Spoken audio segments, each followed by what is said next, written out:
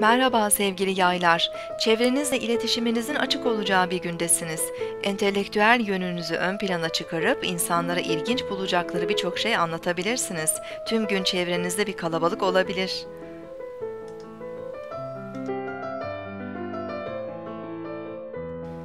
Bugün 16 Haziran 2014 Pazartesi.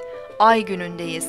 Kova burcunda ilerleyen ay güne özgür, sosyal ve idealist enerjiler veriyor. Geleceğe ait projeler, toplumsal konular, arkadaşlar ve grup çalışmaları ilgimizi daha fazla çekebilir. Öğleden sonra ay Mars'la üçgen açı yapınca enerji ve motivasyonumuz yükselebilir. Hareketli bir gün geçirebilir, sosyal etkinliklere katılabiliriz. Akşam saatlerinde Ay Uranüs olumlu açısı özgür ve yaratıcı enerjileri arttırdığında ilginç kavramlarla karşılaşmamız da mümkün.